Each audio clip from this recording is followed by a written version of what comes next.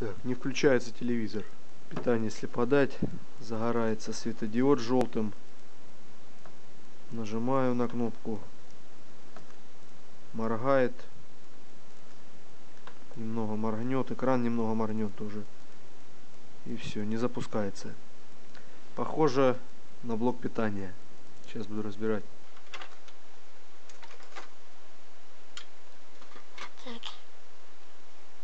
Так, разобрал его. В общем, блок питания, вот он.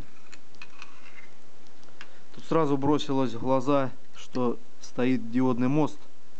В общем, он тут к радиатору вообще не прикрученный, а просто прислонен и все.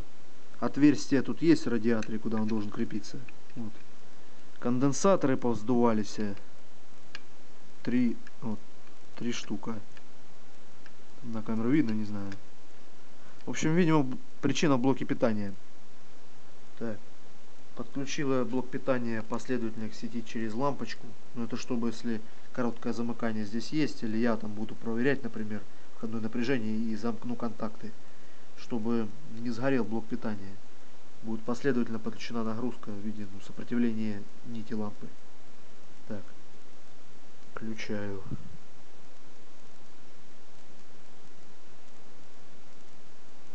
Так. На выходе напряжение есть 12 вольт. Как раз по схеме тут и должно быть 12 вольт. То есть блок питания запускается. Так, поменяла конденсаторы, которые сдулись. Тут видно у одного и внизу заглушка выскочила. Так, в общем, сейчас емкость проверить у них. 680 микрофарад написано на конденсаторе, но если проверить емкость мультиметром,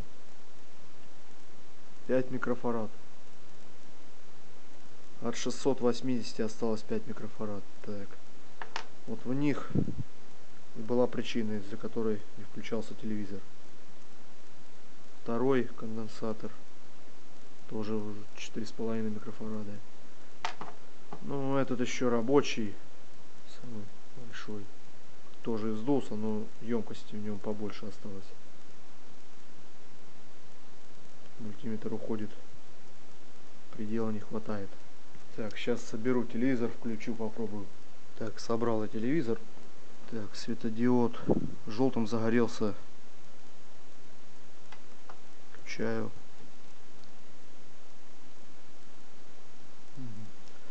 Запустился. В общем, причина была в этих вздутых конденсаторах. Всем пока.